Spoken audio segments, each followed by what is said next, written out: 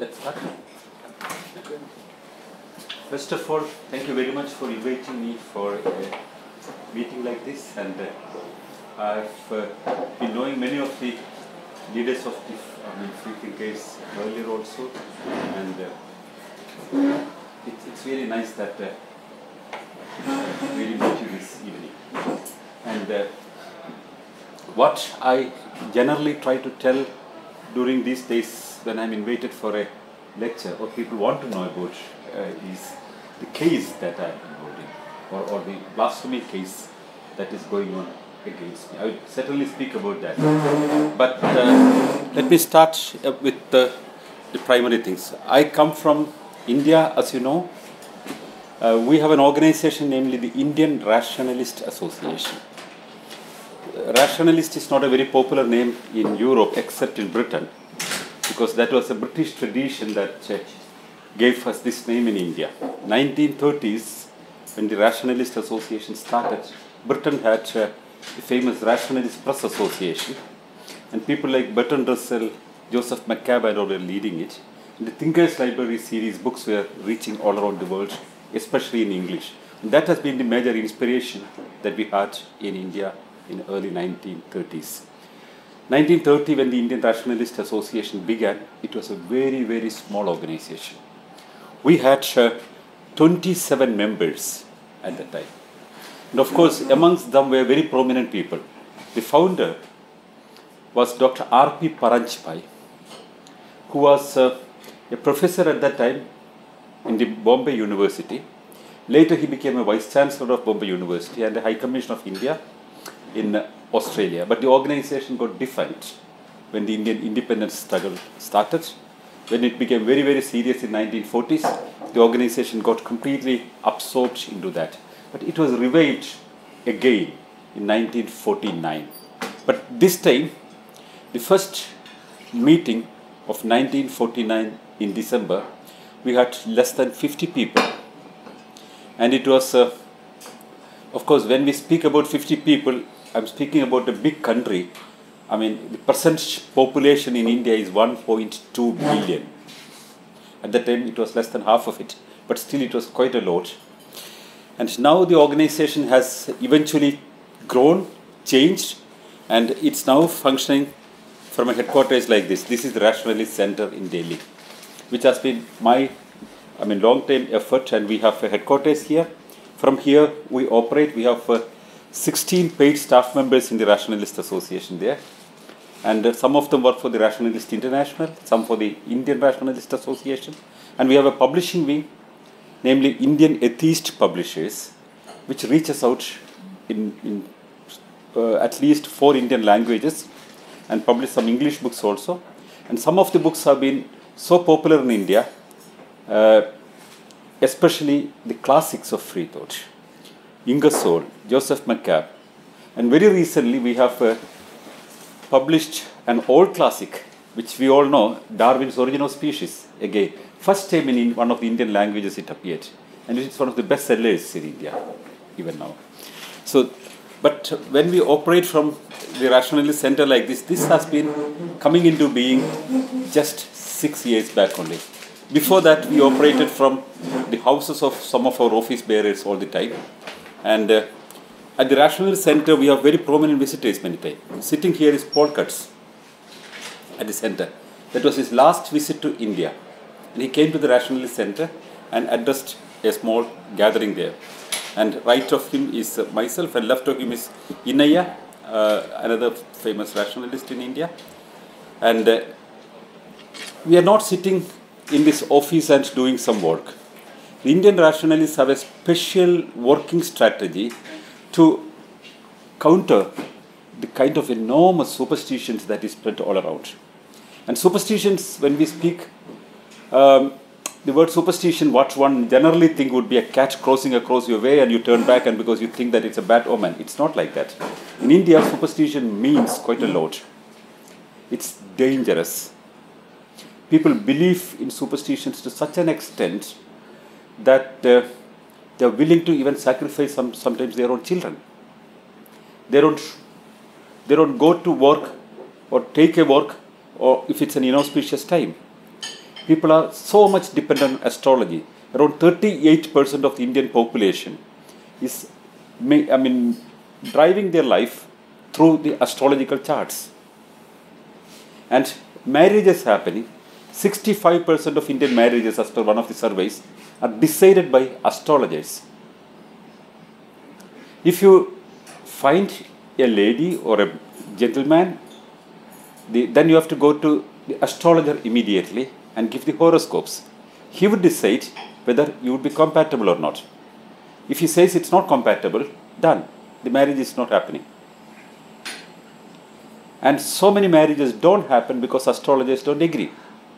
Well, of course, nowadays people have found ways to bribe astrologers if one really wants to get somebody married.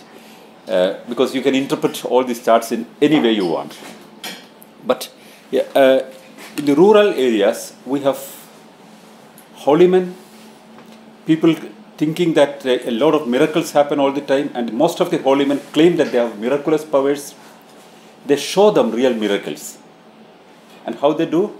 Most of the time, it's pure deceit, fraud, cheating.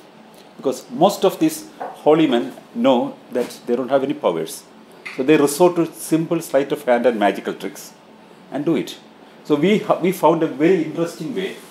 Uh, this is my myself I'm in a village where I'm distributing uh, the small tablets of holy ash which is used by Satya Sai Baba to produce holy ash.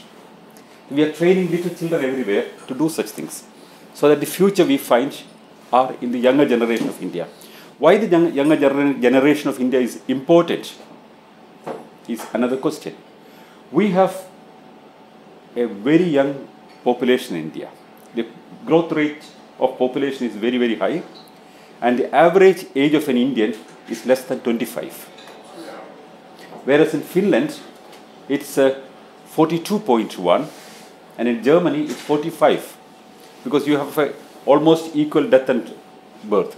Here we are producing a lot of new people, and uh, I mean, it's, it's very, very fast growing.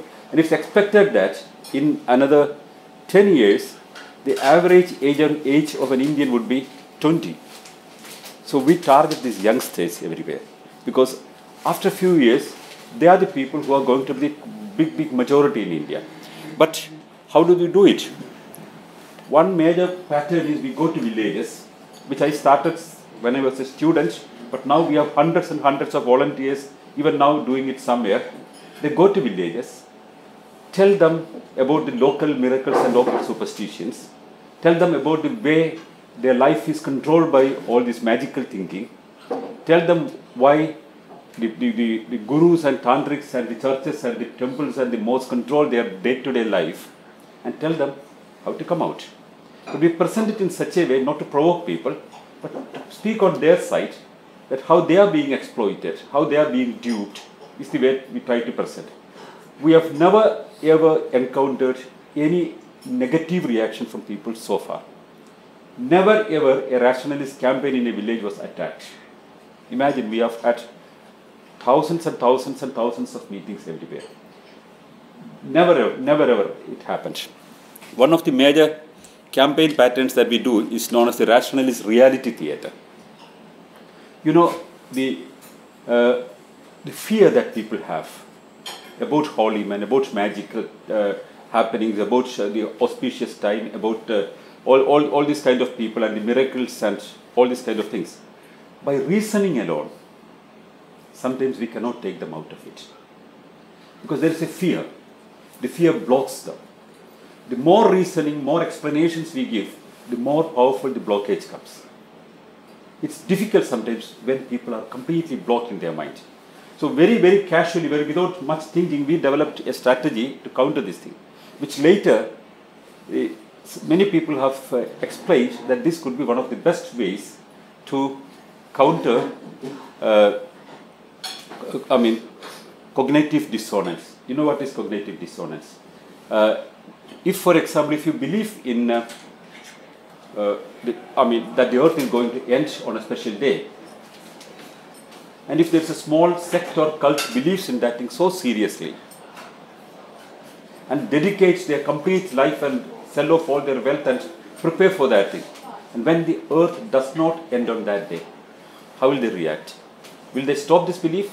Or will they think that, oh, I've made a mistake, it was stupid? No.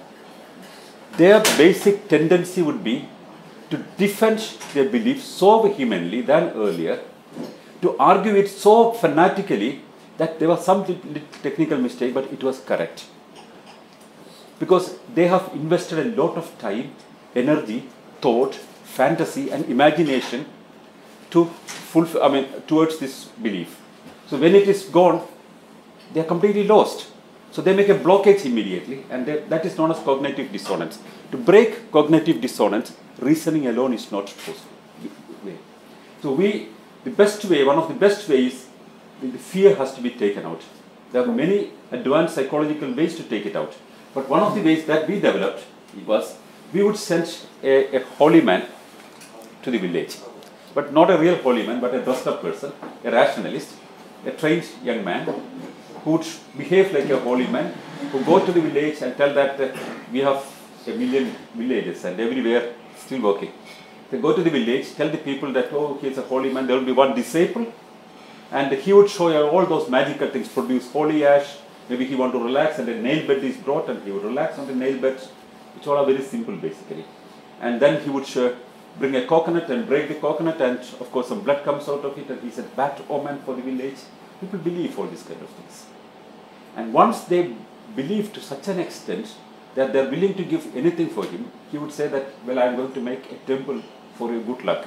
Bring all the money. First of, first of all, he shows a small example.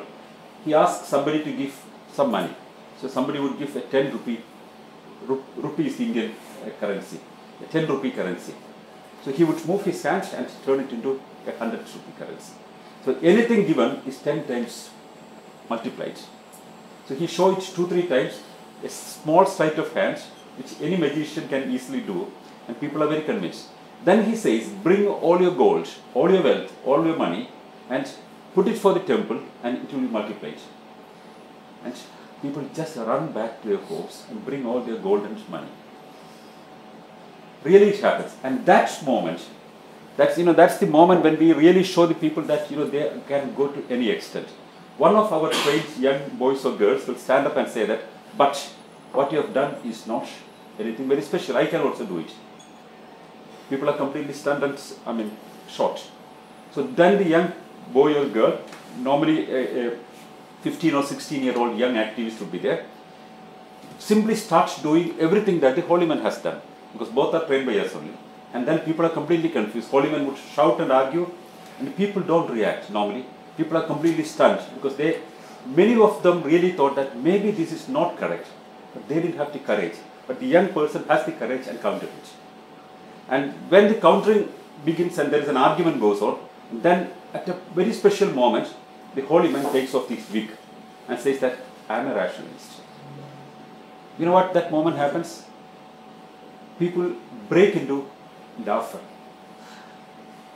the laughter is coming, it's a relief basically. The fear is taken off. The fear for, about the holy man, fear of the supernatural, fear about the mysticism is just taken off. And that moment, without their thinking, the cognitive dissonance breaks. And that they get courage to think. And critical thinking, the moment it rolls up, then we don't have to do anything. It goes by itself. It, it rolls and rolls, and they can. They, one the moment they start thinking critically of anything, then one need not further, I mean, uh, monitor it. It will go on and on. And it works like anything. And hundreds and hundreds and hundreds of villages we have done this thing. And uh, some of the articles that covered about this work, for example, Los Angeles Times said that we have been making a silent revolution in India. Not seen by much people outside, but India is changing. Many people have assessed it. So this work, work became very important but it's not only at village level. Look at this is an old picture. Uh, this is a, a, fire which some people are making. This was made in 1982.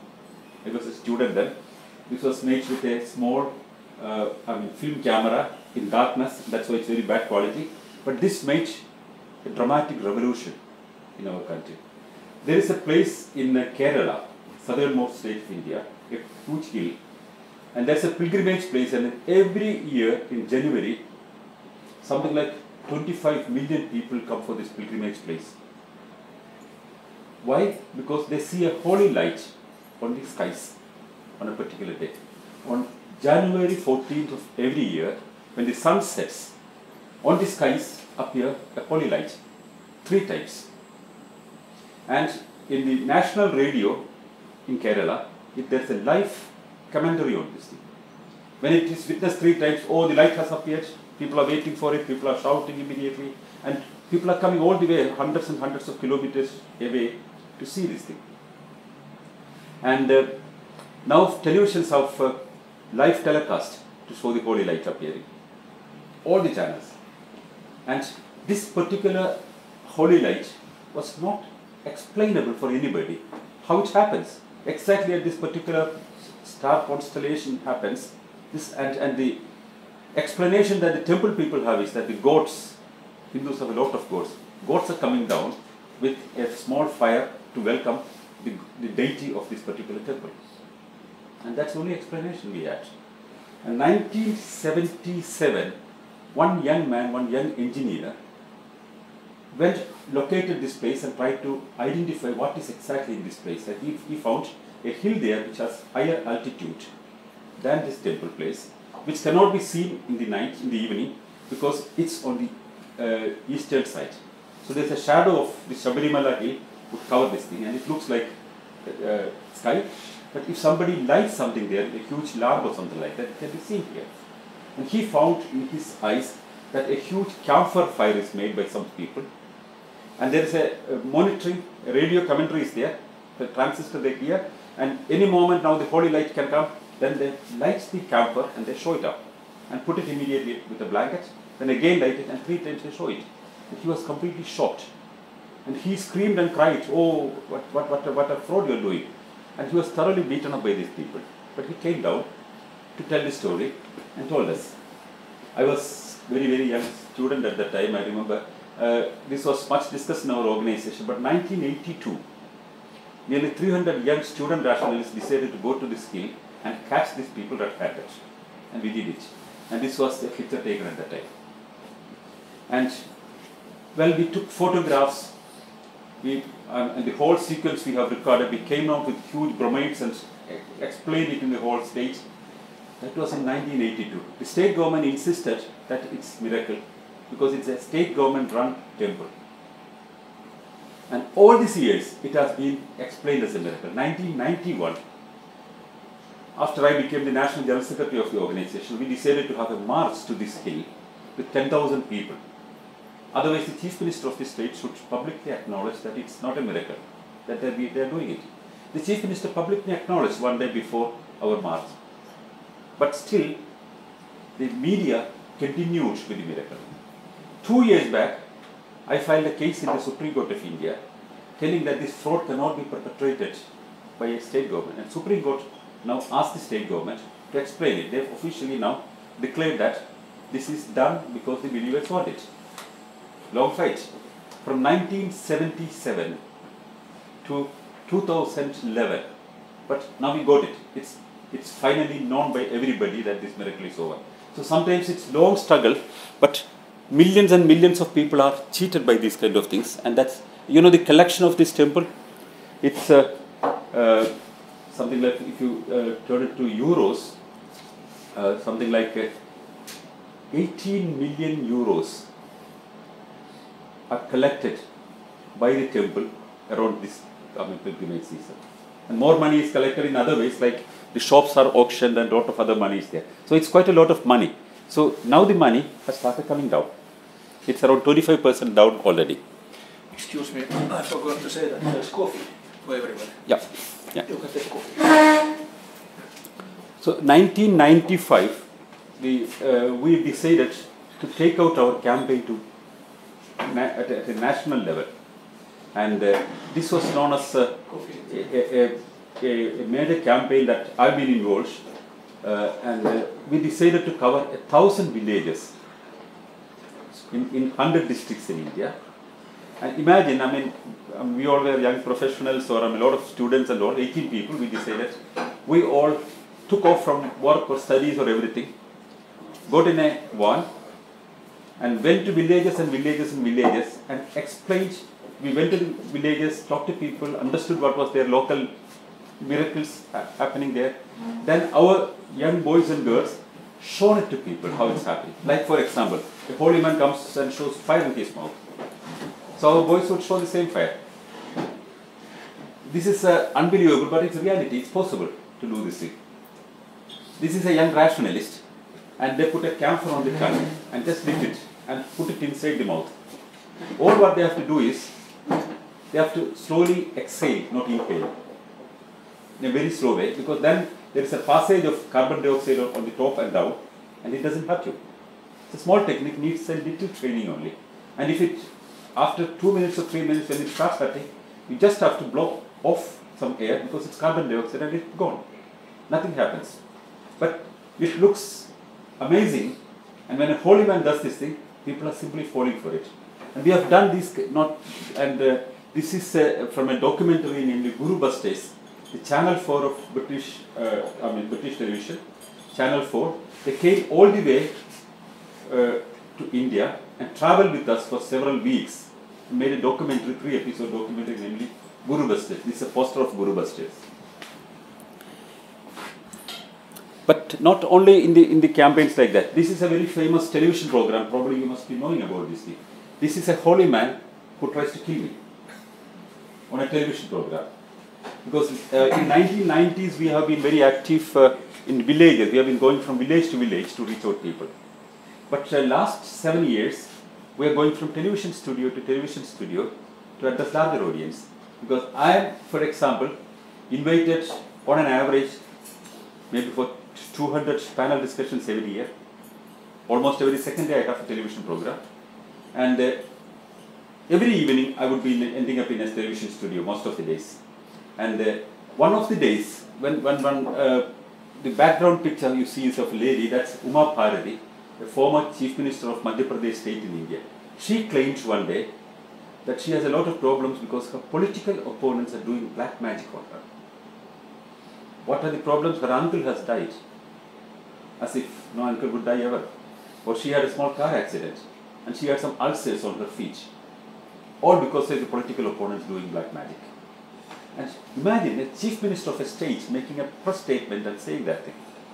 And I remember that evening because um, I, I, I just came back home and the chat, call from the television channel came. We have to start a show in 30 minutes. And it's 20 minutes drive from your place and a car is already on way. Uh, and just rush to the studio because the show starts immediately. So i thought i should have a coffee now. But uh, there was no time for it and i rushed for the program. And of course on the other side of the panel discussion was this uh, right person. He was pandit surendra sharma that was his name he's no more in public scene he was a very popular television astrologer and uh, holy man and tantric uh, appearing in almost every channel at that time. And they called this person on the other side. He claims normally that he was the guru of some of the cabinet ministers. And uh, of course, when the program began, he said, uh, Look, I, I said the black magic and witchcraft and all are beyond beliefs, and I mean, it has no meaning. But this guy, I mean, with his white clothes and all, I mean, such a commanding voice, he said, It works. I have done it. I know that people can be killed by that thing. And I know it so well, and I know the mantra to kill people. I've done it. I said, Did you kill anybody? He said, No. I have uh, tried it on a dog. It has died immediately, in three minutes. And any human being, if I try, he would die. And I know how to recover a person also just before the death. I was completely stunned, not because of uh, his claim and I believed in that thing, but the impact of this thing. Because this was a program which was seen by at least 5 6 million people in the evening. One of the most popular television channels which reaches all of the rural, rural northern India. And how can I counter such a thing? I can make any kind of argument. I can say that it's, it's this is a, a- baseless belief. I can argue. I can say that this is not correct. You are telling wrong. No, it doesn't work. I thought just a flash came in my mind. I thought there's a good way to counter him. I said, if that's correct and if you can kill anybody in three minutes, just kill me. Right this moment, kill me. He said, What are you telling? You are, you are asking you to be killed. I said, Yes, come on, kill me this moment. If you don't kill me, I would declare publicly that you are a fraud. You made a wrong statement. I provoke him so thoroughly. And sometimes I'm very good at provoking people. And uh, after some minutes, he chanted his mantra upon me. Tried, he said three minutes, but nothing would happen in three minutes. And 10 minutes and 15 minutes and half an hour and it goes. The channel decided to stop the next programs and they announced breaking news and continued it. And all the next programs were cancelled and went on for three hours. And he every time asked for 10 minutes or 15 minutes. And uh, at the end of three hours, he said it doesn't work. But uh, I'm sure that he must be protected by some other gods. I, then I said that, look, I don't believe in these gods, I'm an atheist. So he said, okay, uh, in that case, there is an ultimate ceremony which has to be done in the midnight in an open place, in a burial place. You have to come there at 11 o'clock, and if I do that thing, you have only nine minutes. And it's one hour I mean, session of tantric uh, ritual. In between, I will have nine minutes for you. This nine minutes, when I chant this special mantra, first three minutes you will go crazy, unreversible. Next three minutes you go unconscious, unreversible. Next three minutes you will die. Okay, I said fine, that's perfectly fine. But in the first program, what he did was, you know, if you see, he tries to hold my forehead every time and shake it so well. I said, you don't do that. You said to kill me with magic. For that, you need not touch me. So, but he pressed my forehead. Whenever I say that, I mean, don't physically touch me, then he said, you're afraid. Okay, some, so, somehow I to allow it also. It looks so interesting that he shakes my forehead and, I mean, it's on YouTube. You can see Tantra Challenge and you can see it. I mean, it's in, uh, it's a long program, but it's cut short into four or five minutes of three episodes and you can see it in the YouTube. And anyway, but at one time of the program, he said, "Sir, bring a knife. That was a little different because I thought uh, he's trying to kill me with magic, and this time he wanted a knife. I mean, uh, I mean, I, I, I, was not very very comfortable about thinking that he brings a knife now. Uh, though I felt little uncomfortable, I did not express it, but somehow I had a little humor even at that time. I said, "That's a conventional way of killing." I said you, you promised to make a, a, a show of uh, magical killing. For that, no knife is required. Anyway, the knife came. Then he played the knife in front of my eyes and neck and I mean, tried to I mean, show that he would hit me or something like that, mainly to scare me. Maybe he wanted me to say, no, no, no, stop or something like that. That's enough for him that I asked him to stop.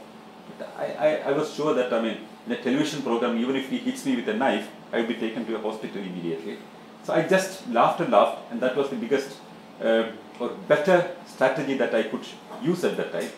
And at the end, the, the final ritual was promised, and the final ritual was announced by the channel so vehemently. They advertised in all channels Will rationalist Sanal Edamaruku survive this night, or will he fall to the mantras of the holy man?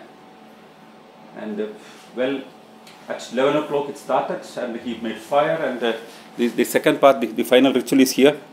With fire and all, he starts. And uh, then he made a small dough of wheat and uh, asked me to touch on that thing. Then he boiled it, boil it, heat it, and uh, cut it, stab it. A lot of things he has done. Put a lot of mustard in the fire, smoke and color and light and all these kind of things. And uh, one hour has passed, and uh, I end up clapping my hands and well, I mean, the tantric was out of business. But you know what happens? Um, at the end of the program, he said, But you die this night. It has an impact, you will die this night. Next day, some journalist asked him, he said, In three days, you will die.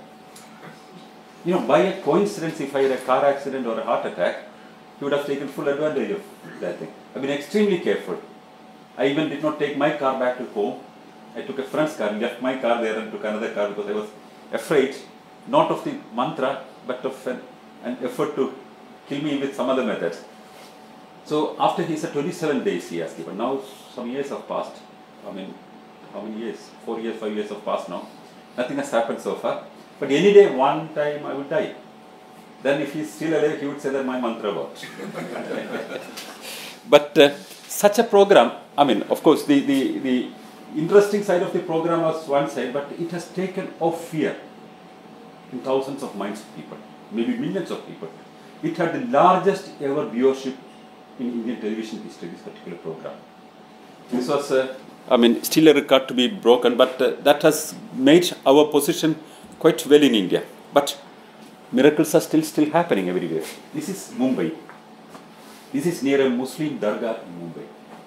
All these people came to take water from the sea because the sea water turned sweet. And one night, there was a small mosque nearby, and uh, um, some boys found that the water is not more salty there. It's sweet. And immediately the mosque announced that it's a Allah ka karishma. It's a miracle of Allah. And people started rushing and came in televisions and people started collecting this water in bottles. And claims came that stomach ache has gone, illness has gone, flu has gone, arthritis has gone, and somebody who has not been walking for several months have walked now, and you know everything is miraculous. Cancer has gone so suddenly, everything has gone. And now the television channels asked me to comment on this thing. I had no answer immediately because I don't have ready-made answers for all these questions. I said I don't have an answer. But rather, I would, my approach would be very simple to collect this water, send for chemical analysis, and see what would be the content of it.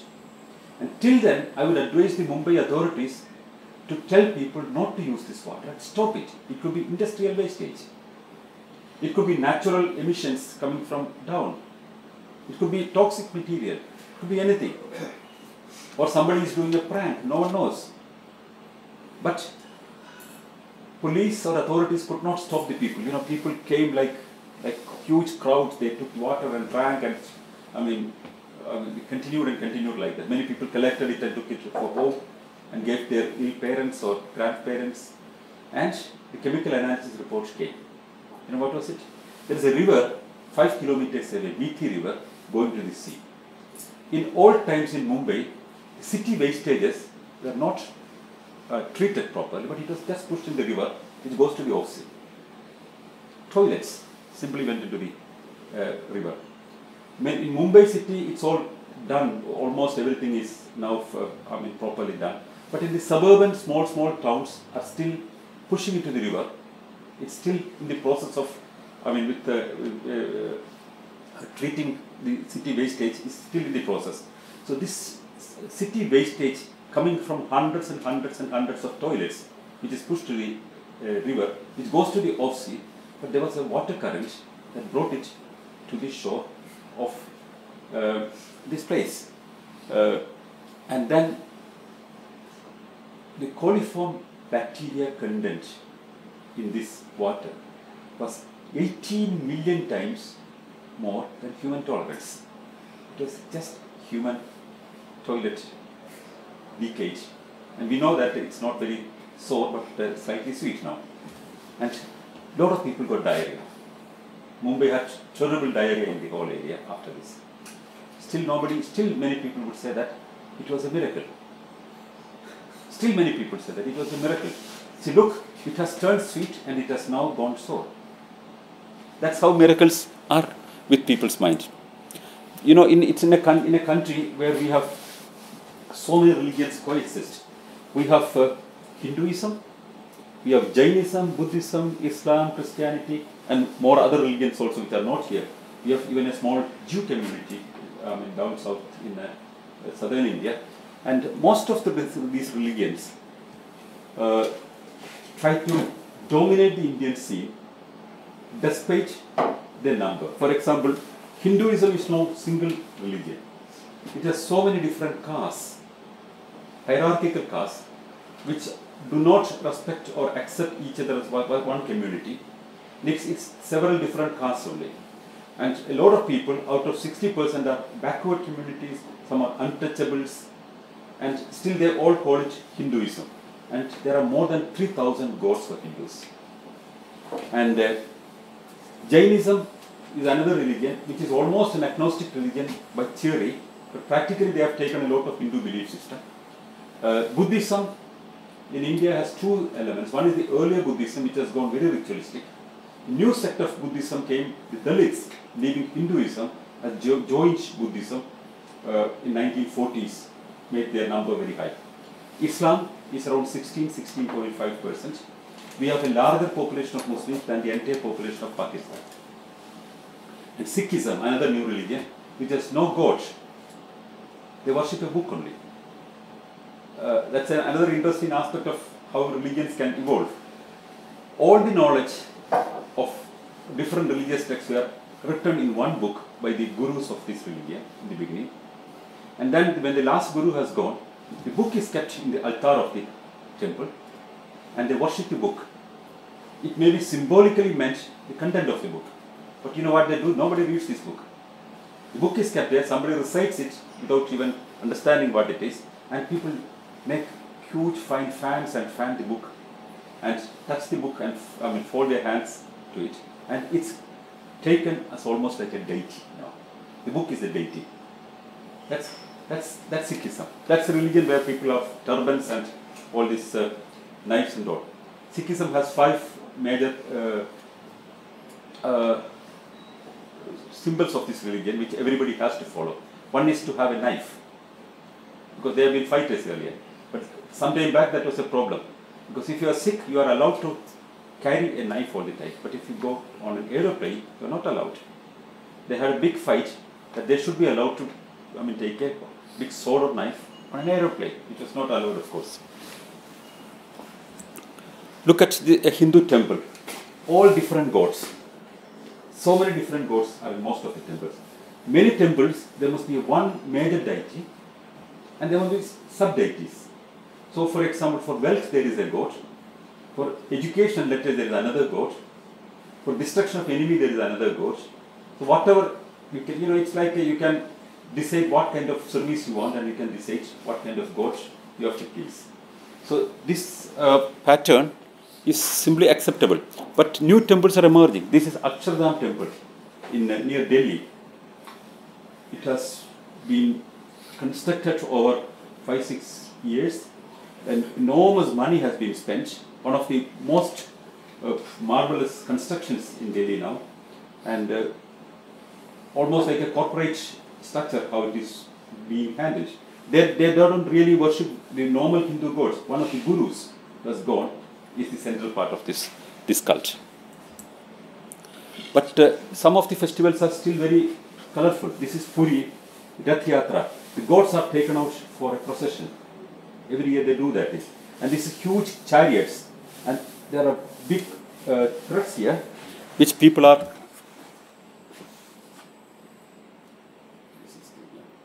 Here these are threads and these people are pulling it forward.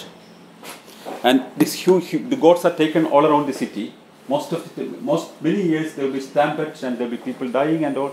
But still that's done. So people are so much involved in these kind of things. Or the kumbh mela festival this is this festival is supposed to be the largest gathering of people in the whole world in allahabad the where the uh, river ganges joins with the river Jamuna and supposedly a hidden river Saraswati also joins there. And this place at an auspicious time, all these people come and take a dip in the holy water. And the first right to enter this water is for the, the naked sadhus. There are a lot of naked sadhus who are living in northern India, living in special areas. They have the first right to enter in the water as per old tradition. These are the naked sadhus jumping into the water. And uh, auspicious time is important for this Kumbh Mela. But this concept of auspicious time is everywhere. Look at this advertisement. Guaranteed immediate solution, privacy ensured. India's number one gold medalist astrologer Pandit Karan Sharma. And his website is worldfamouspundits.com. Then worldfamousloveguru.com. That's the key of astrology. Because most of the people who go to astrologists are looking for compatibility of a spouse or a lover, or if you want to win somebody, you can. There is a special astrological method, namely Vashikarana. You can win somebody with chanting some secret mantras. People believe in that thing. And these people sell all these kind of beliefs and husband-wife dispute, love marriage, family problems, health problems, court case, divorce, education, immigration, lottery shares, giving you sleepless nights, all other problems and privacy guaranteed and you can uh, go to him and everything is done. These kind of people are everywhere in India. We have uh, nearly 100,000 astrologers practicing in India. They're professionals. But the other side, you have certain people like this. He has he's no more existing. He's Maharshi Mahesh Yogi. A very interesting person because 1960s he came into prominence. That was a year which was important for India because scientific temper and scientific approach has shown India that it can bring results around this time. The great green revolution has happened. Agricultural production has enormously increased. 19, 1950s, India has been waiting for ships to come from other countries for our wheat and rice. But the great agricultural revolution using science for practical use, irrigation, water management, I mean, or, or flood control, a lot of techniques we have used. And uh, science has shown that food production is one of the best results that it can achieve. And India became so self-sufficient with wheat and rice. Now we have excess wheat and rice for several years in our godowns. We export wheat and rice now. This has been in 1960s, followed by the white revolution, the dairy revolution. Milk and butter everywhere. These two revolutions have changed India at one side and shown that science can give results to people. But same time, same period appeared two, three people, like Mahesh Yogi or Satya Sai Baba. All these people emerged at the same time. So I normally try to say that there are two Indias coexisting all the time. One is a progressive, modern looking India with use of science and te- technology, help people to go forward, education and further forward. The modern India. 20th century or 21st century India at one side.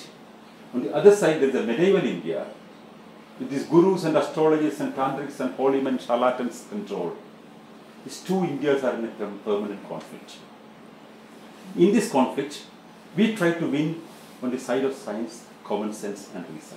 But this person was uh, very successful, you have to say, because he sold a technique which is known as transcendental meditation, TM. He was uh, very successful not only in India but abroad also.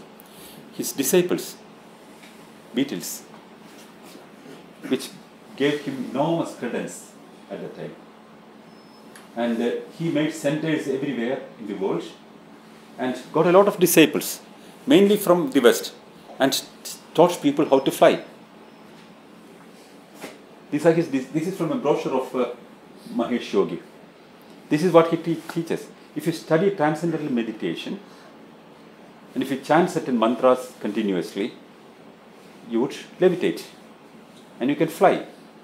All for global peace. If you levitate and lose your weight, and lose your weight not, not in a modern way, but lose your weight than the atmospheric uh, pressure, and then you can go up. And then people really uh, believe that they could fly like this. So many people have paid money to get a mantra to fly. Can I just make an interjection? I, when I, in the nineteen seventies, I was living in the United States in my early twenties. I paid, I don't know how much money in dollars for transcendental meditation training. I did not do the flying stuff. One normally pays the I, because the flying stuff came later. Hmm. You know, th- there was this big thing about TM and you got, well, got your mantra, your, your personal guru gave you your mantra tailored just to you, just to you. And, um, but meditation in itself, not a bad thing. To sit quietly for twenty minutes, and that's not a bad thing. A few years later, I started hearing about this flying stuff, unfortunately, not Yeah, what- what- what- at that time. what, what these people normally do is, you know, meditation can be seen in two different ways. If meditation is just taking long breath and remaining silent for long hours, fine, that's tranquility. But most of the people who sell meditation speak a different thing. You can achieve greater things. For example, what they say is akhanda paramananda is what you can achieve. The un, undividable, uh, eternal bliss, what you feel.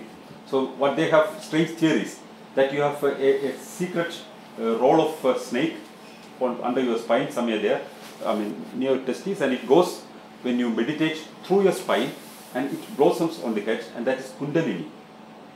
And this this magical imagination of this thing, people get uh, a kind of great happiness, apparently of auto hypnosis, And but Mahesh Yogi was the first person who said that he could get people really fly and levitate. And a lot of people did that thing. And the money he charged was, you know, every meditation there was a special charge for him. The, for transcendental meditation, I think he was charging $2,500 at that time. And this is from a brochure. And uh, this is, there's a Switzerland, there's a school for flying teaching. Here are students flying. You know how they do it? That's the most interesting thing. Uh, nobody has seen these people really flying, only photographs are there. In, in, uh, when Mahesh Yogi was still existing, everywhere on his brochures and website and everywhere these kind of people were there. You know, huge full page advertisements, these pictures were already shown. What they do is, these were spring mattresses they are sitting. They sit on a lotus position, then hop up and up and up down. Then the cameras are fit down here. When they go up, it's clipped. Next moment they fall down with the nose. And that moment is not shown. Uh, if I may say, we had a yoga flying uh, party in Finland briefly, in late 80s or something, and uh, in television they were actually showing them bouncing sad. Yeah. Yes. Bouncing is possible. You know, if it's a spring mattress, you can really bounce up and down. Yeah. Yeah, that's really possible. But that one need not have meditation. One can just have a beer and do it also. So here, uh, what what was later accused by some of the participants was he was giving a prasada before the meditation. Prasada is a special offering, uh, but what it included was something special, which was uh, little hashish. And the mantra is you, you get a not a default mantra but a, a real special mantra for you seeing you and talking to you you get a special mantra and one of the mantras one of the disciples who have gone there and wrote a book later he said he got one two words only om kri so om is a very holy word in india supposed to be the, the first word or something like that and this om kri he, he has to repeat a million times sitting in a dark room in the basement and in a closed room and when he has to close his eyes and never open it, till he completes a million times, then he would slowly go up. You know what happens? Very simple. See, it's a comparatively uh, closed room with less oxygen. You have less oxygen supplied to your brain, you can fantasize anything. You dream, normally when you dream also, when there is less, less oxygen supplied to your brain. And when you repeatedly chant a mantra and you think that you are going to fly, you would feel that you would fly. You would fly and you would go out of the window and you look the city down and everything you can feel, but only for you. One need not even have hashish for that thing. Just this mantra and this belief and the lack of oxygen would be sufficient. But he solved it. He says that uh, more than 100,000 people have already flown. That's what Mahesh Yogi claimed later. But uh, uh, the, the kind of uh, disciples that these people get in the Western world has, gave has given a lot of credence them in India. Most of the money that these people got also from the Western disciples. Another person is Satya Sai Baba, who has never traveled to the West but had the largest number of Western disciples. He has gone only one time out of India in his life. That was to Uganda to see his old friend Idi Amin. And then he remained in India only. But uh, he had enormous clout. Enormous clout in the sense that in some of his birthdays, look at this thing. I mean, the left hand person is the Prime Minister of India, Atal Bihari Vajpayee. And the right side is the Chief Minister of Andhra Pradesh where he lives. And uh, he blesses them. But in, on his uh, uh, 78, 79th birthday or, or 80th birthday, there was a very interesting uh, situation that uh, the Prime Minister of India, P.V. Narasimha Rao, uh, the year I am not very clear, I mean, because this particular period where Narasimha Rao was the Prime Minister and Shankar Dayal Sharma was the President and Justice Bhagavati was the Chief Justice of Indian Supreme Court. All of them were his disciples. Judiciary, executive and the uh, uh, government speaker was a disciple. The top businessmen and the Indian pop stars, the cricket stars were his disciples. So such a clout he had, and he could simply control uh, a lot of politicians by, by his personal suggestions. And he was a god, very special god. He had a mission. He was it was a trust that he was running, namely the Satya Sai mission. The only trustee in the trust was he himself. And the God himself signed all his checks. till his 80th year. Of course, when he could not sign, he became very old.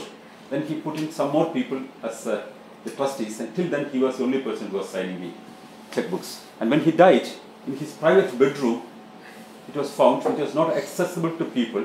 The bed was made of pure gold, not gold plated, but pure gold. And under the bed, for emergencies, some golden big bars were kept. The top was completely studded with uh, diamonds and pearls. And of course, currency notes in huge gunny bags were put in the almirahs. From where did he get all this money? He did not do any legitimate work. And he had a- an annual turnover of more than several states of India. He had his own airport, his own railway station, his own post office, his on university, his on medical college. And that was one of the God men who claimed that he was God. He wrote, I am the God and I created this universe. And there were people believing that. And when he died, he claimed that he would die on his 96th birthday only. He predicted it so many times. But somehow uh, the death did not wait as per his wishes. Came at his 84th year and he simply died. But on his, uh, uh, when his body was, uh, I mean, publicly shown, sitting with the turban is the Prime Minister of India. On the left is Sonia Gandhi, the president of the ruling party. He's a, she's an Italian, Italian Roman Catholic. But I don't know whether they believe in these kind of things. I'm sure whether they believe it or simply do it for political expediency, the result is the same. People take their leaders, take the public figures for granted, and what they do is simply giving credence to these kind of people. But not only them. Look at this person. That's APJ Abdul Kalam, a scientist, was the president of India. Abdul Kalam visited Satya Sai Baba on his birthday. You know what Satya Sai Baba did mainly? He produced holy ash. He moved his hand and produced holy ash and gave to people. Or he blessed people, and many people say that I mean all their problems were solved by him. Or he would just spit golden Shivalingas, the phallic symbol of Shiva, he spit out and show people. And he says that I produced it. You can see it on YouTube how he produces it. He just one can see it so well. He put it in a little towel and put it near his mouth and say that okay I've produced it. So simple like that. And uh, APJ Abdul Kalam is not a simple person. He was a professor of aerospace engineering. He was the first chancellor of space science and technology. He was the 11th president of India. He got the highest civilian award, namely the Bharat Ratna, the Pearl of Bharat. That is Abdul Kalam. But what to say about that thing? Uh, not only Abdul Kalam. When we have we have a space research institute, a very successful satellite communication system we have. Indian Space Research Organization, ISRO. When it launches a rocket, imagine the chairman of the uh, the, the the research institute makes a replica of the satellite and the rocket and go to Tirupati temple and place it there and make a special prayer. Or astrologers decide the time of the launch so that it could be auspicious. Or to the next stage, the, the chairman of the, uh, the scientific institute comes with a coconut, chants some mantras and break it in front of the satellite before launching because Lord Ganesha, the elephant faced god, has to be pleased for all obstacles being taken off. That's how science and superstition coexist in India. And uh, that's, uh, people don't take this, you know, it looks like a joke, but in India it's all very normal. Look at this person, Amma. She has been in Finland. Amma is a very special person.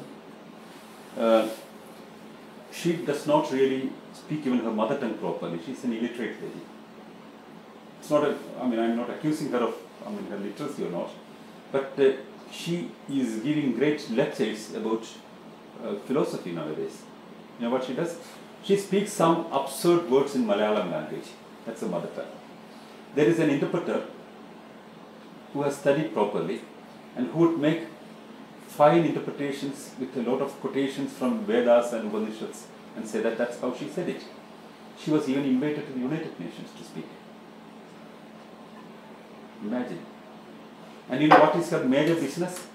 She just hugged people. Started at the age of 15. At the time of puberty, she had a problem, which is written in one of her own books. You know, India is a very, uh, very, very repressed society to many, in many parts, in rural areas especially. In, in schools, for example, girls and boys don't sit in one bench. In buses, women have separate seating positions. And if there is an empty seat near a lady, and if several men are standing there, nobody would sit on, a, on that seat. Because if somebody sits, she would stand up immediately. Because it's, it, that's how society is, I mean, divided gender-wise in many parts of India. In such a situation, uh, Sudhamani, that was her name, in her early years, when she was in her teens, started with a small problem. She herself writes in her own book that everybody thought that she was crazy. And even her parents thought of taking her to a mental hospital because she would just hug anybody, especially boys. Anybody going nearby her little uh, house, she would just run them and hug them. And many people were so afraid and they run off. And then she would scream and cry and fall on the floor until the guy comes and allow her to hug. Then sometimes she would roll on his mud. And then later she started a small prayer group. And you know, funny things, like she would make a cardboard crown uh, of a goddess one day, and another cardboard of a god on the other day, and just dance crazily and sing some songs. Some people joined together to, I mean, dance along with her, like a village folk structure. But eventually, she got a very strong manager. He made a, a trust out of her, and he was looking for a, apparently a victim, I mean, a, a godman who can be presented publicly as a holy person and who do not really think much or, or, or practically are, uh, who is not able to handle things by herself. So this person is controlling the empire. He's the vice chairman of this institute, and uh, Amritananda Mai goes on hugging and hugging people, and people are thinking that I mean it's something very very special. And uh, one feels so motherly nowadays. People say she is now in her late fifties, but uh, quite some years back, uh, there were a lot of uh, how initially people were attracted was a was a scandal almost at that time because she was sitting at that time at her uh, home. There was a small prayer room, and one by one the, the guys who are coming there for a prayer, he, she would call in the inside room and make a grand embracing and pat on the shoulder and oh son, all your problems are over. So what is the nature of this hugging was a rumor at that time. And but one person, very famous writer in India, Khushwant Singh, the very famous writer, was the editor of Hindustan Times and the Illustrated Weekly and all. He wrote an article after visiting her. He was an agnostic. And he wrote in, an, in his column, very famous column in Sunday magazine, that I visited Amma. She was in her 30s at that time. And now I believe that she has a lot of powers. Real powers. I've experienced it. And you know then what he said? At age 86, I had an erection in two minutes. He wrote in this article. And imagine such a sarcastic comment. Uh, either one should file a defamation case, but what this ashram people did was they take out the second part of it. And they said, I'm impressed, she has great powers, I'm convinced. And they put it in their advertisements. They, they really put it in, in, their, in their announcements that Khushwant Singh, such an I mean, agnostic and well known critic of all these people, has appreciated her and accepted that she has powers. The article we reproduce later and translated into several languages. Khushwant Singh is a very humorous person. He said that, I mean, uh, uh, I mean, he understood what was the whole mechanism, how it was functioning at that time. But now it's presented as a mother hugging all, I mean, I mean, young children or something like that. It's a huge market. You know, the market now goes to a new level that the, the, the mission that uh, this lady runs or in, run, in, run in her name now try to sell small dolls of Amma so that you can hug all the day. They have ordered um, huge quantities of uh, dolls for European disabled now. Next time when she comes, you can buy dolls also. So this is one kind of marketing. But you know, uh, what she does, okay, she does for her disciples. She, we using this, this clout as a holy person, she has made a medical college, got a license to run a medical college. And in this medical college, the kind of corruption that is being done is not fitting for a holy person. To get an admission in a medical college, in a private medical college, you have to give huge bribes in India because medical seats are very limited there. Every private medical college run by religious institutions take a lot of money and that's their income. And her medical college, the basic money that you have to give to get an admission is 60 lakh rupees. That comes to around 10,000 euros. Man, compare the value of Indian rupees and difference of euros and euro and Indian rupee. And people who pay this money to her without a receipt, not by check, but black money under the table. I have publicly said it. I have witnessed. I have people. I mean, who have, I mean, whose children have paid this and recorded information I have. That's why I'm publicly saying it. They cannot even defame. I mean, defamation fire against me.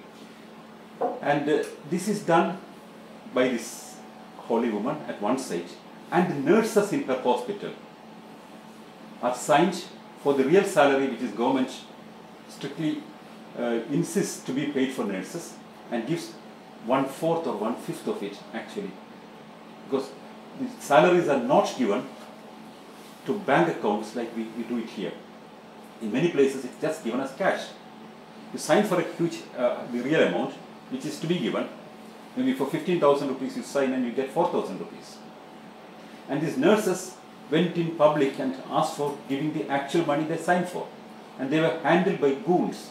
The professional goons of the city were hired by this ashram and beaten these nurses. Televisions recorded this thing, the goons coming and beating these people, and the ashram people ordering them to beat them, everything they have recorded and publicly came. But what, what's the result? Nothing. Next week there is a function of this holy woman in her ashram, and you have representatives and parliament members of different political parties going there because she commands votes. That's the sad side of Indian, and this is the hugging session. This is how he. Another holy man, Sri Sri Ravi Shankar. Sri Sri Ravi Shankar was a disciple of Mahesh Yogi. He started his own business now. And he found a new way of meditation, namely Sudarsana Kriya. Everybody can make, but you cannot use that thing, it's patented and trademarked. And uh, this, uh, this special meditation involves a special kind of breathing technique. He, he says that what, the way we all breathe are it's wrong. And through the Sudarsana Kriya only you can breathe correctly and properly. And therefore, you are taught how to breathe. And the breathing is taught against a fee. And a lot of people pay money for weekend sessions and study how to breathe properly. A lot of people, thousands and thousands of people. And uh, he sells very well. Another holy man. This is a very, looks funny, but he is a very, very powerful person in India because he runs a television channel and appears on 24 television channels every day morning. And he teaches how yoga can be useful. Yoga is not as an exercise it's presented in India, it's linked with faith in India. You know, most of the superstitions in India are linked with faith or nationalism. That's how it, becomes, you know, you cannot touch it, it's a holy cow. So he says every kind of problems have a solution in yoga. And, and he interpreted in special ways by touching special parts of your body, you can invoke a lot of capacities in you. For example, this is one way how to keep your uh, age uh, controlled. You have to press here very much. Or if you go to a metro in, in New Delhi every day morning, you see uh, middle-aged women traveling for their walk will be rubbing their fingers like this. A lot of people will be rubbing. You know why? The yoga guru in the morning tells that uh, if you rub your fingers like this continuously, you will not become grey. And people believe it. They rub and rub. Or in this position, you can see a lot of people sitting in the parks in the morning. Or these are different uh, positions that he says. But sometimes he can be very, very dangerous.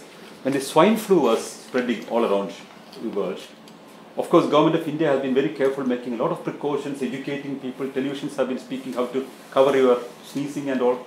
But he came in his television program and said that this is all meaningless. There is a protection in yoga available. And there are certain mantras also. All what you have to do is you have to chant a special mantra and chew a special leaf, which is supposed to be a holy leaf. It's just another leaf only. And you have to chew that thing and chant this mantra and you are protected. Imagine how irresponsible this statement is. But you know, instead of booking him on Magical Remedies Act, the Delhi government next day started distributing these leaves all around free of cost. Because people wanted it. But he also claimed that chewing the, the, the, the fresh grass of uh, wheat, you can protect yourself from HIV virus. But the danger involved is, that is where superstition becomes so, so dangerous. If you believe these kind of things, and people believe, and his programs sell, and his yoga classes are attended by thousands of people, politicians, chief ministers, everybody go there. And he started even a new political party recently, and he wants to become the president of India. Imagine what would be India's fate then. This is another guru, Prahlad Jani. He was very popular in news all around the world. I mean, I'm just showing some uh, Um, cross sections of Indian parliament only. He said, for last 70 years, he has not been eating food or drinking water. Imagine, I mean, something around the beginning of the Second World War, he stopped eating and drinking water. And we would, everybody has a small smile here and there. But you know, government of India takes such things very serious. The Defense Ministry of Government of India decided to study about him. For example, if one can survive without water and uh, food, that would be very useful. If one studies this yoga and meditation, it's very useful. You know why? In the border of India, in Siachen, so many soldiers are there, I mean, in very high altitude. And their, food is supplied by helicopters, food drops are there. It's quite expensive. If they can be taught this meditation, no food supply or water supply is required. Therefore, the Defense Research Institute has given a huge amount of money to a, a, a hospital to study about this meditation and make a result out of that. And it was a, it was a scam basically. We asked that we should be involved in the, in the, in the study, but we are not allowed. They even claimed that I mean I, I was allowed to participate in this thing, but I was never allowed. And we found that he was actually not uh, kept away from water. He was allowed to take a shower every day morning, and he was just gulping in a lot of water. And I mean, some of the nurses took pictures and brought it out, and we gave in televisions later. Or other holy men.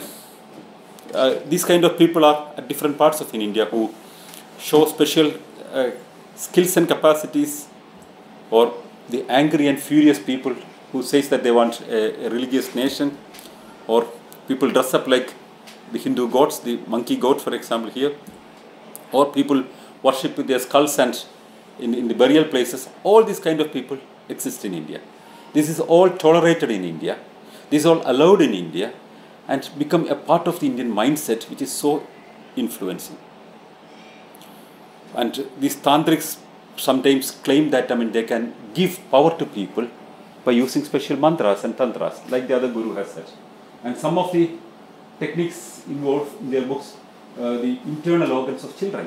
A lot of children are lost every year, and suspected that most of these tantrics are kidnapping them or abducting them and killing them.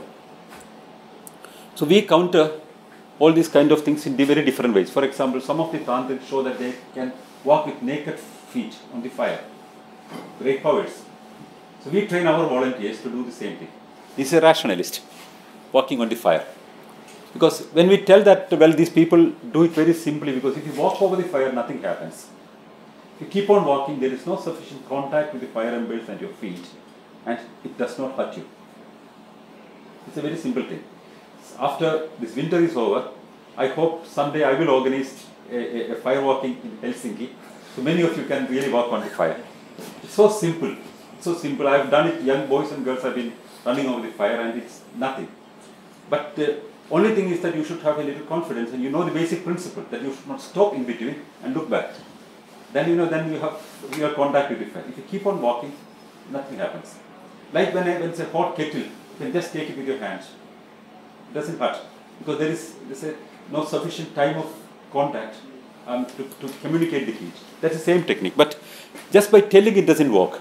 You have to show it. Therefore, our volunteers are walking on a, on a fire in a fireplace and show it to people. Or when people levitate, uh, but this is a real levitation. Look at this thing. Here's a young boy. He's levitating.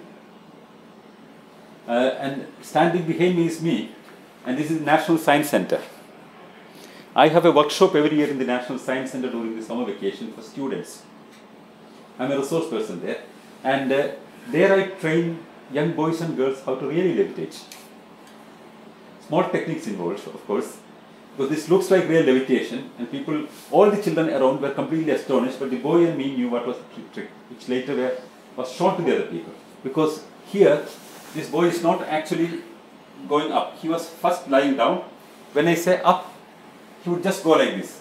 But here, he is sitting like this. And here in his hand is a hockey stick. He holds the hockey stick like this and sit only. Gives an impression that he is actually levitating. This is one of the ways to levitate, which many people do, and many, many holy men would do. So we, we show all these kind of things and train children, not only just telling that this is all, I mean, but make it little interesting and showing children how exactly this is done. What to produce holy ash, or to just relax on a nailed bed. For example, thousand nails put on a bed. For example, a, a table with uh, so many nails, and if you put an apple on that, it will just pierce through it. But then the holy man, or anybody who wants to become a holy man, removes his shirt, go on that thing and just relax. Nothing happens because the weight is distributed. If you go on one nail, it hurts. But if you go on thousand nails, just the weight is distributed and nothing happens. Not even a small pinch you will get. So all these are really shown and trained to people by us. But sometimes it's not very easy when one explains this. This is, a, this is the famous crucifix in Mumbai, uh, which uh, made me land up in Helsinki. This crucifix, uh, here, some water drops started coming. Exactly one year back, March 1st of last year. Three days later, the first anniversary of this miracle comes. And uh, on 5th of March, the, the television channel started reporting it, and uh, everywhere there were a lot of uh, articles, newspapers were reporting. The church immediately said that it's a miracle because water was dripping from the feet. Jesus is crying, and the water is coming down and falling through the feet. And they collected this water in small buckets and uh, glasses and distributed to people to drink. And they started a prayer group in front of this thing, and the priest of the church came down because this is outside the, the church building, and he stood under this uh, statue, the cross, crucifix, and hundreds and hundreds of people visit. And he makes several sessions of prayers there, reading from Bible, and people sit on their knees, and then in a spoon, the, the holy water which is collected from the feet is distributed to people. And I sat on a television program on, on 5th of March. I was sitting in Mumbai, uh, in Delhi, and this, this was happening in, in, in Mumbai. I said I need not go and verify this thing. Why? Because it's common sense that no statue would release water without a water source. There could be some source somewhere. Maybe it has a hole somewhere and some natural rainwater has trapped into that thing. Maybe some other uh, reasons. One has to study that thing. Normally, I would always say that take the water and send for analysis. You would understand what's the source. So no, they did not care for that. Thing. And uh, I said a lot of examples that lot of places these kind of miracles are done. Crying Mary or weeping Jesus and everywhere. I don't know why these people are always crying and weeping, but uh, centuries they are crying and weeping all the time. Uh, but uh, it, it uh, does not come to common sense. So the, the television channel who did the program and the church itself said that without empirical evidences you are making allegations. It's a miracle and you should come and really see it. Without which, whatever you say is uh, uh, a kind of criticism without really studying. Said, yes, if you say that thing, I would come, but I would, generally I don't want to really come to these kind of things everywhere because open-mindedness does not mean that you have uh, such a big hole in your head that your brain falls down. It, it, it, you know, for example, suppose somebody says that I have my head in my hand, I need not go and refute it because it's common sense to understand that it's wrong.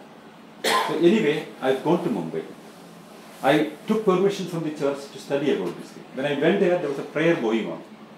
The priest of the church was in front of this uh, crucifix, reading from Bible, and nearly 300, 400 people were standing in front of that thing, and they were all praying. I waited till the prayer is over. Then I asked them, should I now verify? Yes, I was uh, given the permission. Then, very interestingly, as if they wanted to really trap me, the priest brings a small uh, hammer to me and said that, why don't you hit the statue and see whether some water is trapped in that? I suddenly understood what was the intention. If I take the hammer in my hand and make a small hitting, there can be five photographs made at the time. And next moment, they would say that we didn't permit and he tried to damage our deity. So that's a very serious offense.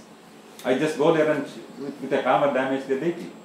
I said, I don't want to, I mean, do such an exercise. Rather, I would verify it in a very different way. And I just verified the whole area. And uh, the first thing that I noticed was very simple one. Behind the, I went behind the uh, building, uh, the, the wall. And the, the, whole, the whole wall was completely dampened with the water presence and algae. Which means there was some water coming to the wall from somewhere. And one cannot see anything down there. So somewhere the water was coming on the wall. Then I went uh, further and found that the nearby wall, here you can see the crucifix also, the nearby wall is also wet and there is no water source at the top. I looked for the water source. Then I found a toilet behind it. And the toilet had, of course, some water tank at the top. And it was leaking. And the water was coming, it was a little dirty toilet. And then I looked where the water is actually going. Then it went through a pipe and I followed the pipeline and I found that just behind this statue, this crucifix, behind this uh, wall, it goes down under the earth to be connected to the main sewage line. So, but it was covered at that part with a flat, uh, uh, I mean, stone sheet. So I opened it. It was full of dirty water. You can see the whole dirty water. It was at least three, four feet down. It was full of dirty water clogged there. So this dirty water clogged there. Naturally, water when it is not allowed to go further forward, it climbs through small pores upwards. That's known as capillary action. That's why we have, uh, if toilets are not covered with, uh, uh, uh, I mean, proper stones, you get wetness at the top. Or during rainy season, the, the buildings normally get water going up. Or trees getting water. It's all through capillary action. So I further see that thing, and it is so dirty, so stinky, quite a lot of water, and I could not bear, and I, I had to close my nose. But I took photographs, of course, recorded. I went out again. Then I found here is uh, if there is water above his knee, this this feet. I touched at the feet. There was no water presence, but there was a nail and there is water. One, one could touch water there, and under the nail there is water. so it was very clear that the, like on the wall, the water came. I mean, like on the wall on the cement base, it has come up and since there was a nail hole here, it simply drained out and from the nail it simply came down. That's why there was no water at the top and there was water on the nail and it was down there.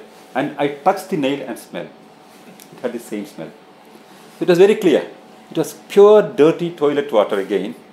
It was given to people and it was when, when I was waiting for my opportunity to study this thing, I was also, they brought it for me also to uh, drink you know, there were people who have been taking it their thing, I mean, palm like this and just licking it. And uh, that was the holy toilet water. And, and uh, the, of course, I didn't explain it to the, the crowd there. They wanted me to talk to the crowd. I spoke about scientific temper and importance of explanation. Apparently, the, the priest understood what was happening. This is the priest. He was sitting folded head, uh, headed, and, and later he all came in the evening television program the television program, there was a very interesting discussion. 10 minutes were given to me to explain the miracle. I've explained the charts, photographs, and similar uh, all, all material and all. I've explained it so thoroughly. And I've shown also photographs of how they have been distributing this holy water and pictures of this leg with the holy dripping uh, with a miracle name on that thing. Everything I've explained. But five members from the church were on the other side in the panel discussion. I was all alone. The priest, an advocate of the church, the trustee of the church, some organizations, three days, five people. Five people on one side and me on the other side, and I tried to explain it, and they shouted at me. Of course, I got 10 minutes properly to explain, and that ended the miracle. Next day onward, there was no miracle, of course. It ended. And they argue and argue and shout and shout and tell that that capillary action is wrong. Water will never go up, it goes only down. Gravitation is the only thing that, I mean, takes water forward. I said, you have to study at least school textbooks. So this argument goes on, but I was very convincing despite the shouting of these people. Half an hour later, the bishop himself wants to be in the program. The bishop of Mumbai comes in the program on a phone line, and he wanted to talk to me. The television program continues, and the bishop says that you are ignorant. That was the first statement he says. Said, uh, I do not know, Mr. Bishop, your name. I mean, can you can you tell me why you are told, uh, uh, calling me an ignorant person? Because you do not know that the Catholic Church has been promoting science and uh, I mean scientific knowledge all through the centuries. The Pontifical Scientific Institute has been responsible for scientific growth in Europe. I could not stop laughing really. I, I, I, I just laughed for some minutes. Then I said, look, I don't want to counter this thing, but I would like to bring two witnesses on my side, put it theatrically, from history. One would be Leonardo Bruno, whom you have burnt to death.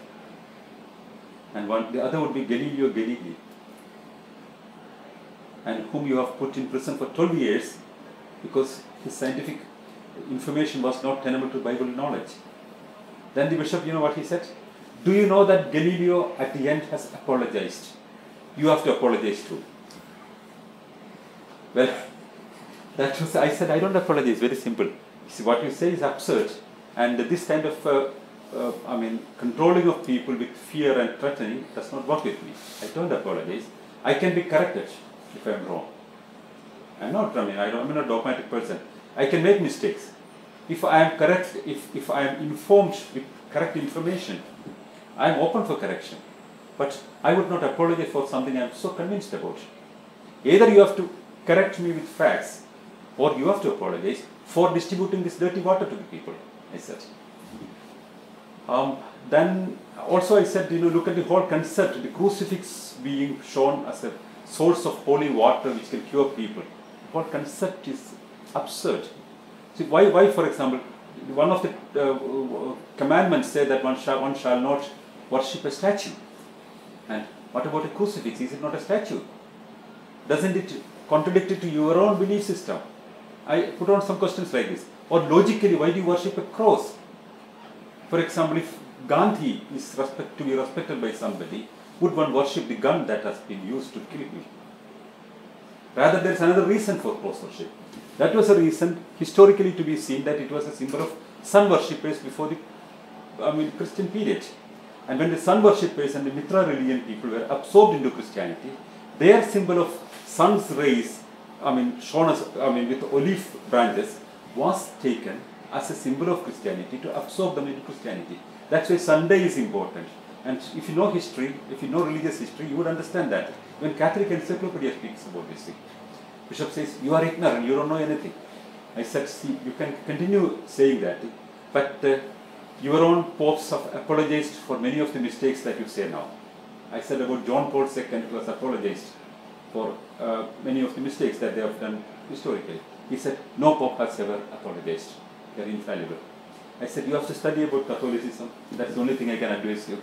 And the discussion goes on, and he became so angry, and he said, We shall teach you a lesson.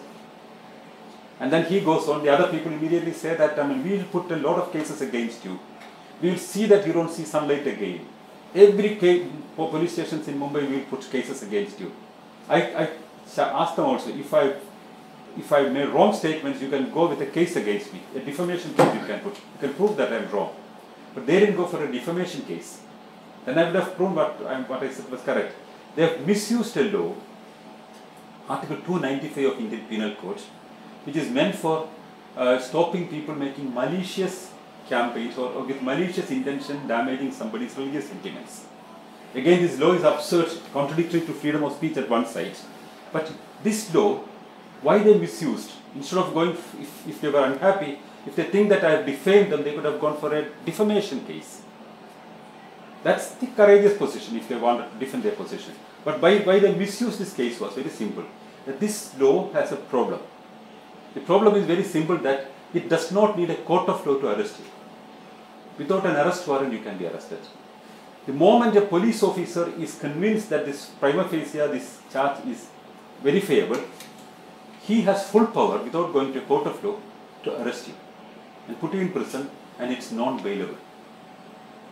Of course, you can go for an anticipatory bail. I didn't take all this thing very serious because I'm, I thought, I mean, I'm powerful enough and uh, I've uh, exposed uh, hundreds, maybe thousands of miracles so far. And uh, I'm in the television, I'm talking to people, and how can some people, I mean, also this is my fundamental duty as per the Constitution to promote scientific temper and critical inquiry as per the Constitution. So, how can one use that against me? But they really went with this law and 17 police stations they have filed cases against me and 15 police stations outright rejected it but the bishop could convince two police stations the officers charged the case. And of course still i didn't take it very serious. But i my lawyer said that you should go for an anticipatory bail application. Anticipating a wrong case against you and you want a bail in advance and offer yourself in the court of law anytime so the, my anticipatory bail application was rejected by Delhi High Court.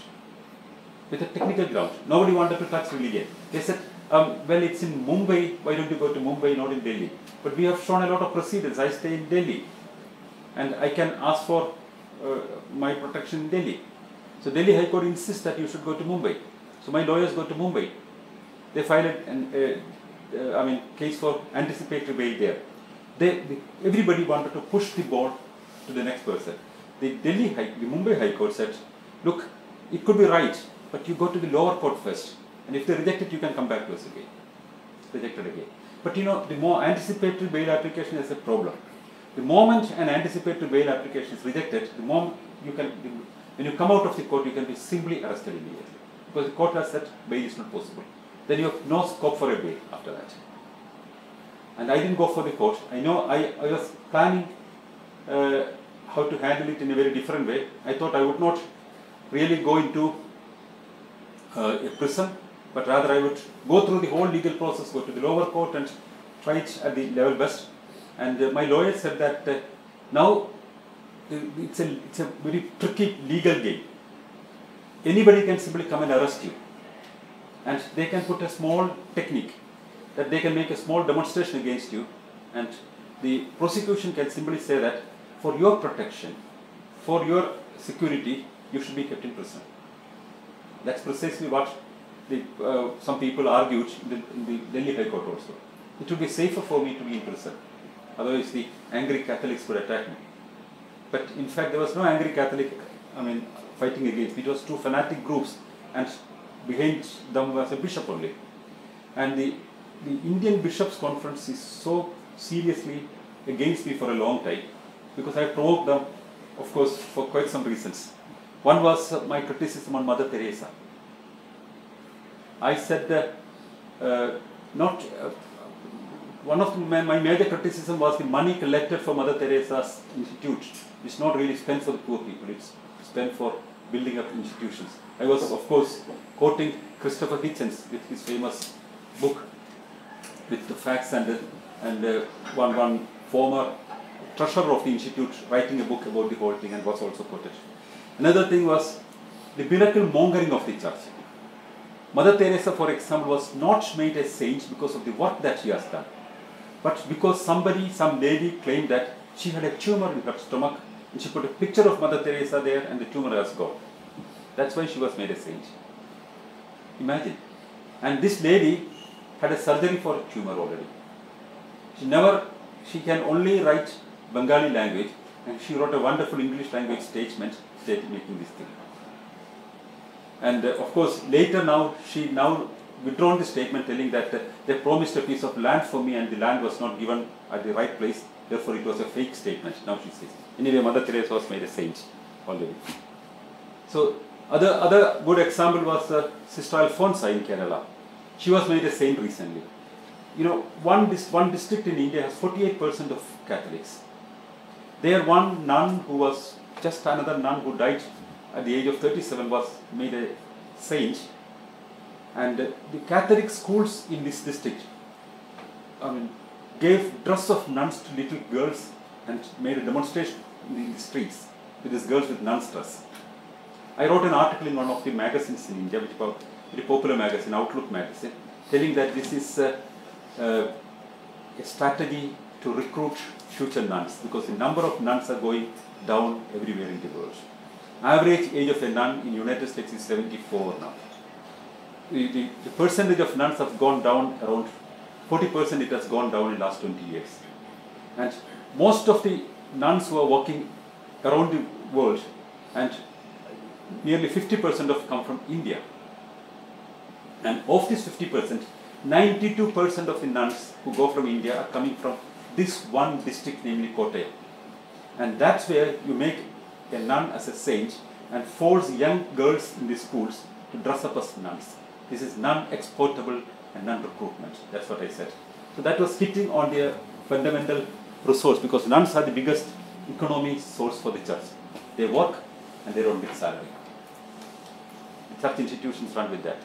So church was making an op- looking for an opportunity to I mean trap me, and uh, to an extent they have been successful. One can say because I had to go in hiding for some time. Then I heard that of course uh, uh, the Mumbai groups are trying to hire mafia to kidnap me to Mu- Mumbai and I mean arrest me there, or they are blogs discussing about get me in prison for one night and uh, pay enough money to a co-prisoner to stab him to death. All these kind of things were being discussed. So then I decided, well, I traveled to Europe. I was going for a lecture tour at that time in, in uh, uh, Poland. I was invited already. Then I talked to my friends and my friend Pekka Elo, uh, the president of Finnish Humanist Union, who is an old friend. He said, come to Finland early. And I came some days earlier in Finland.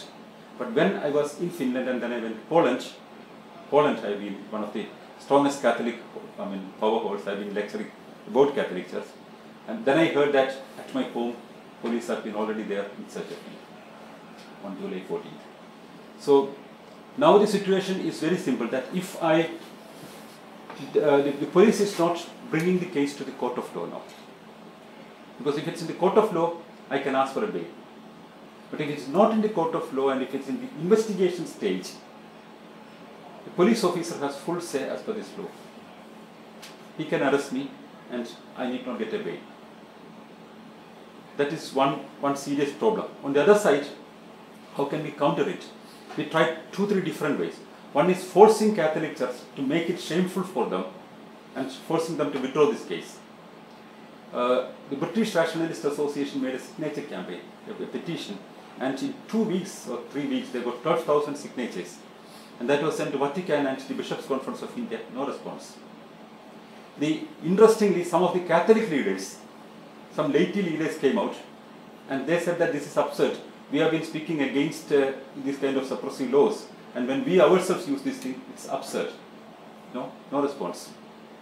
So they want to use this as an opportunity to. They think that I mean I can be stopped, but what they do not know is that I cannot be stopped because uh, while I am in Europe, I've been traveling all around.